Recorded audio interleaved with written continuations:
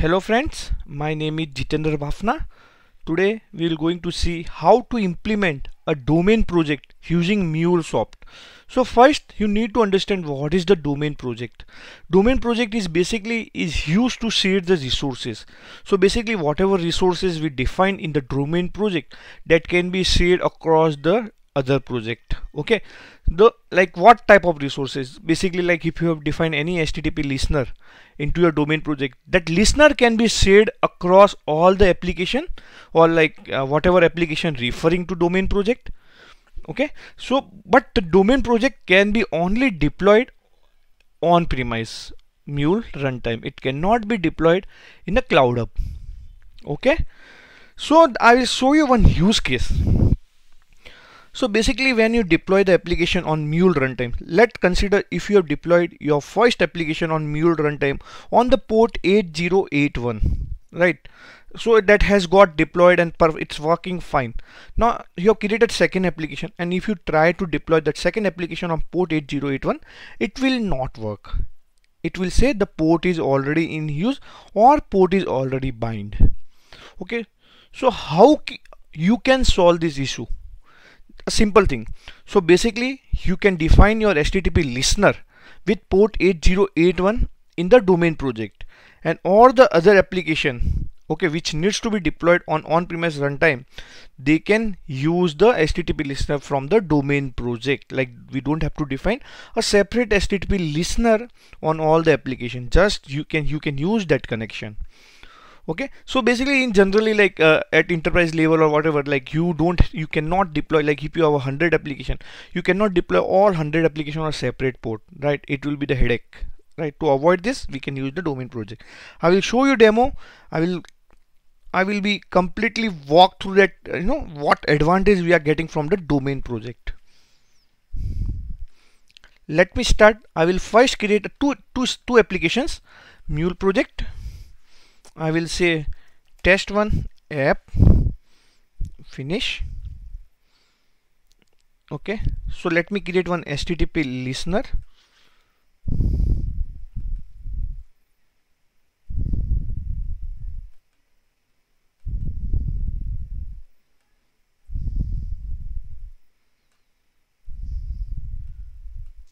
Okay. And the console should be here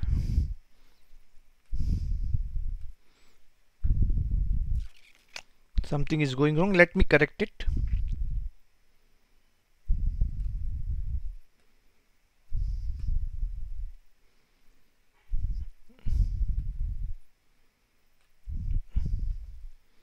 Okay. So let me go to http listener and like start defining the connection. And I can say 8081 port okay. And I can say test one it's just a simple application. Just I want to make you understand the concept. Set payload. And I will say uh, response from F1 okay? That's it. Save everything. Now create a second application. Say test2 app finish. Go to test2 app. Drag and drop http listener. Define the connection on port 8081 okay I will keep 8081 and I can say test2 okay same thing I will just check for set load and I can say response from app 2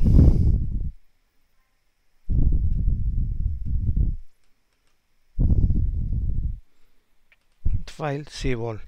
Okay so now I will export both the application. Uh, let me export uh,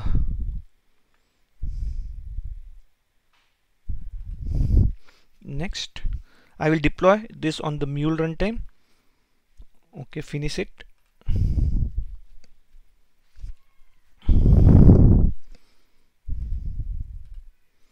Okay I have just I will export this also. Next. Finish. Okay.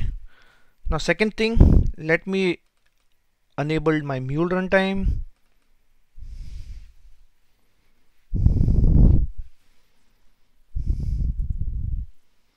let's wait while mule runtime get initiated. Okay so you can see the default is deployed. Now what I will do I have already exported uh, two files okay or two application a test one jar. I will copy this and first I will deploy this. Apps folder just try to deploy this. So it will automatically deploy. See it jar has been automatically extracted and you can see it here. So application has been started. Let test also. Uh, let me go to Chrome. And I will say http localhost 8081 test 1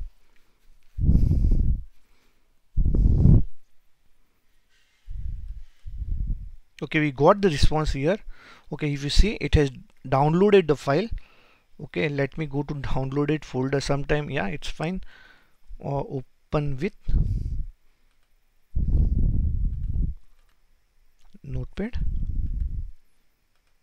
So it's a response from f1 instead of that I can show you on postman. That is the better option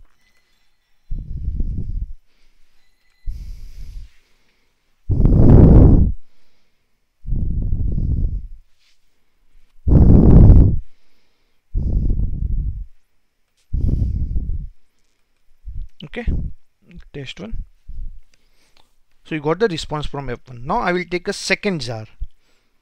I'll go to c drive my drive where i have just created the jar file. You just del copy this jar okay? And now deploy on the same folder e mule run enterprise apps folder and try to deploy it. It will be extracted and now see on the it got failed okay you, I could not create a server. The server in the port already exists.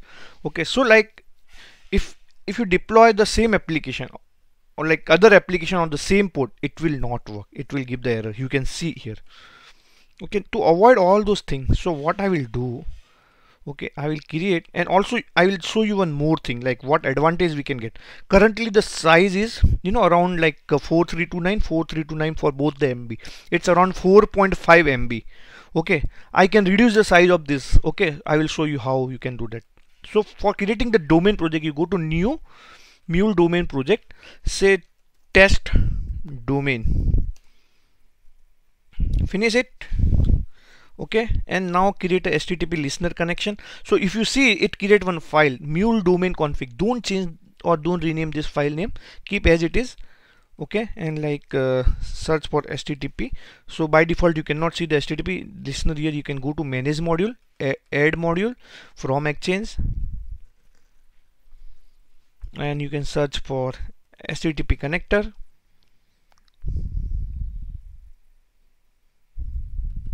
add finish apply and close. Now you try to create it. You can see http listener. Okay. I will just rename it. I will say common or we can http listener. Okay. Keep port 8081 I will instead of plus I will use okay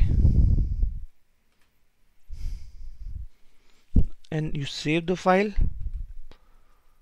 Okay now we will go to test application. Global element. Just delete this uh, connections. I don't want it. Okay. Just delete this connection. Don't want it. And the second thing you can do like uh, go to pom.xml okay and like I don't want to define my dependency here. Just cut from here go to domain project. In domain project it's already there. See socket because I took the HTTP listeners right? So I don't want it there. So it's already there. So you don't have to define it again there. So go to second project also. Remove both dependency. I don't want it. Save everything. Now now what you have to do? Simple like now go to properties of this test one okay go to mule project and just refer the test domain project. This is my test domain project. Apply and close. Okay now go to test one. Message flow. Just try to if you see whatever connection we have created you can see in the drop down or it's all automatically taken. One thing you need to change it manually. Just uh, copy this. What is the name? Common http listener see it doesn't automatically change in configuration.xml okay so you can go to configuration okay it's got changed here it's good like comes up it it changed here so you can check always make sure like it is properly or the configure is uh, you know pointed to proper http listener so test one is done now let me go to test two so if you see test two okay so test 2 don't let me do one thing. Properties just refer as test domain apply and close. Okay? And like uh, if you see listener so it automatically taken. And like check config.ref okay. So it's done. Okay? Now what I will do I will stop mule runtime. Okay? I will close the mule runtime. Just delete those have like you know mule enterprise standalone apps delete uh, everything from here. The first thing we need to deploy the domain project. Okay? So I will export it. Or simply what you can do you go to the uh, location of the domain project. Okay? Let me go to my location of the domain project. The best way to you know uh, uh, build the domain project. So it's a test domain. Just type cmd mvn clean install. Okay? So let's wait till it uh, okay it has created. If you see in the target folder it have a proper domain project. So naming should be like that. Test domain what a snapshot then it it should contain mule hyphen domain jar. Copy the jar file but there is some separate different way of deploying the domain project the first thing again start the mule runtime. I've stopped it.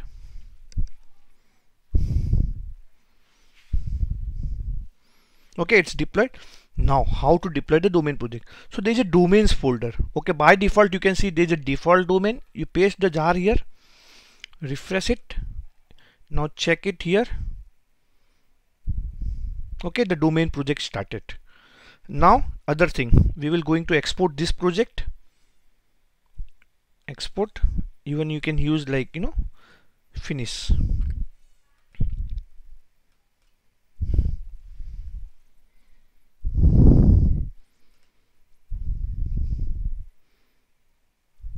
Export next attach finish. Okay yes. You will notice two things let me say okay okay? And like go to C drive where my jar file has been created. Del now you can see the file file size is just 4 KB so what we have seen we can reuse the port okay? Even we can use reuse the dependency okay? So now it has created the jar. And in this jar it will not include your HTTP listener and the socket jar okay? So basically it will not include that instead of that it will use from the domain project. So generally we don't deploy the domain project again and again. We deploy once okay? Might be in future there might be minor change so we deploy it again. But we deploy application again again. So it reduces the so what advantage we are getting using the domain project? It reduces the size of the jar file also. Copy this. Okay go to e drive and apart from that like you know you go to your mule runtime apps folder. Now you have to deploy application in apps folder. I will just deploy both the jar together and refresh it. Okay. It should deploy both. See now it started application test 2 as well as the test 1 so now it is using the 8081 from the domain project. That's why it able to deploy both the application. Okay now we can test it. So we test one the first request always take time. So response from f1 again response from f1 now second. It should say response from f2 see. So now you got it like what advantage we are getting using the domain project. And domain project can only be used for the on-premise application not for the CloudHub application. Okay i hope you understand the whole concept of domain project? So basically i can give one more thing like if you want to do api auto discovery for the your on-premise application you can define all the properties and everything in the domain project okay? You don't have to define in the main pro uh, in the application which is referring to the domain project. The other thing like if you want to do the custom logging or whatever so you can use the log4j2 of domain project instead of defining the log4j2 in each or in each and every application okay? This is no this is these are the advantage you are getting from the domain project. I hope you like this video. Thanks for watching it